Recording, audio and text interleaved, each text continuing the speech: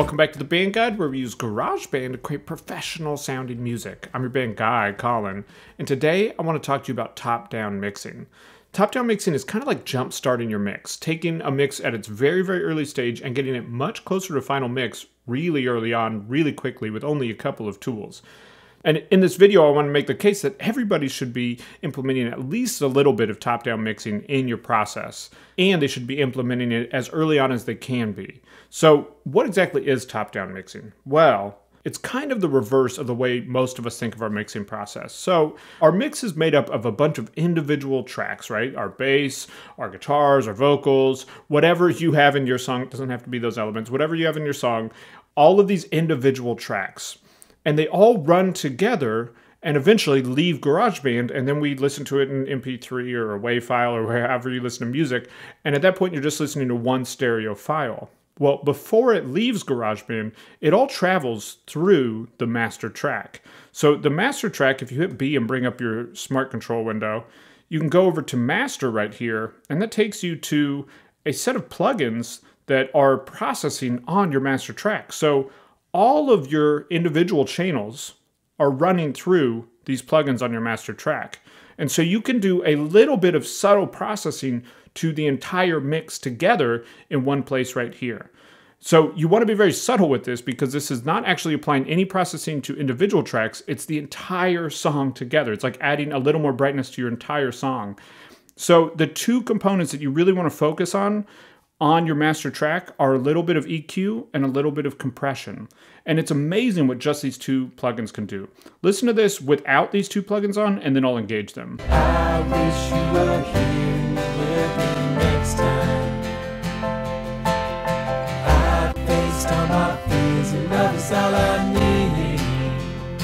Kind of crazy, right? The vocals are a little more up front, the guitar feels a little bit further forward, everything feels a little bit brighter, a little bit more present. The change with just those two plugins is drastic.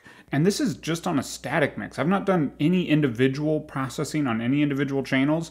I've only set the volume and the panning on my individual tracks, and this EQ and compression is all that I've set, and we're already hearing that much change in this mix. Now, I strongly encourage you to be using a reference track as you're setting these two plugins.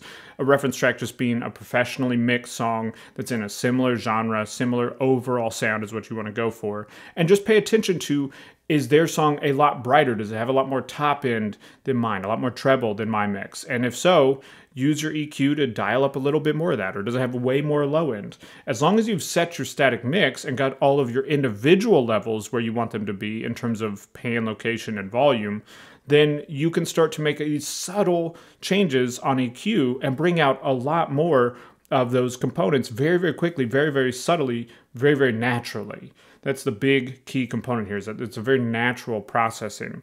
So a couple of tips to help with this. You want to have very small boosts with your EQ. You're doing very little work here. So you'll see if you look down at the gain down here that I'm doing no more than three decibels at any point on my booster cuts.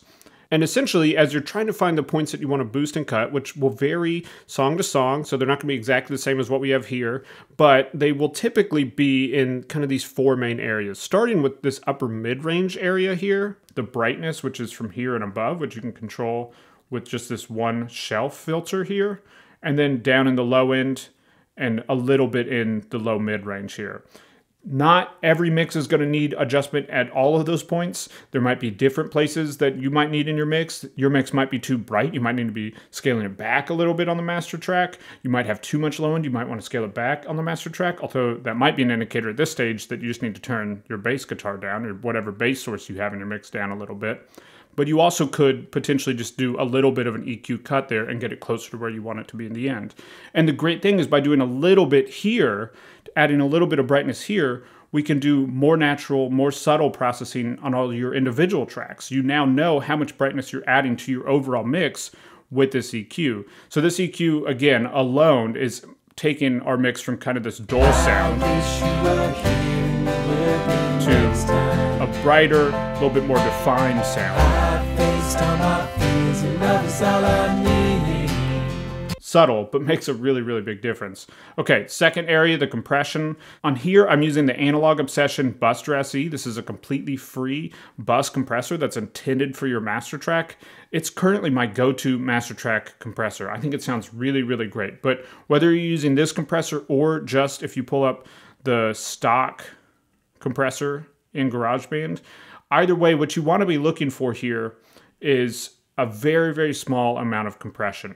Now, what I like about this compressor is that you can actually see how much compression is happening. With the stock compressor, there's no visual representation of how much compression is happening. Sometimes you get an indicator over here, but as you can see right now, we don't have that indicator.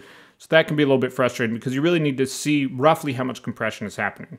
So if you don't have it, go grab this uh, Buster SE compressor from Analog Obsession. It's completely free, sounds really great. The settings you want to be looking for here are a slower attack, typically 30 milliseconds, 10 maybe, but typically I'm in 10 to 30 millisecond range. You want to be pretty slow on your release. This is going to be 0.3, 0.6, 1.2, somewhere in this range typically on the release. You could try the auto release as well if you want to try that.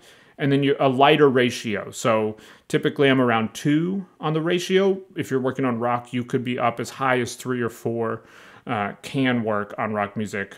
And then your mix is all the way up. Don't worry about any of these options over here or these options. This is just a bypass, by the way.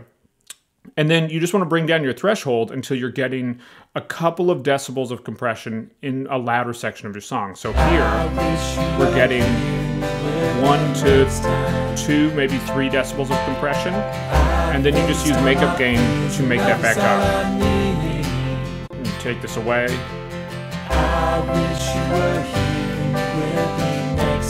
It's amazing. It just kind of glues it all together. Makes it feel a little bit more cohesive.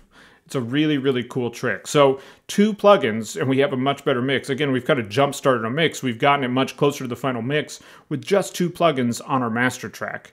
So definitely try this out. I strongly encourage you to be incorporating this into your mixing process and as early as you can be. So as, as early as you finish your static mix, start processing just a little bit on the master track before you go to do individual EQs and compression on any individual tracks. This is really going to help you get a more natural, more cohesive sounding final mix. But to be clear, top-down mixing is not the full mixing process. You still need to incorporate some other elements to create a complete mix. So I've put together something to help you with that. I've put together a completely free six-step checklist that walks through the six steps that all professional mixes have and how you can do them inside GarageBand completely free. There's a link to it in the description below where you can grab that checklist completely free, so be sure to pick that up.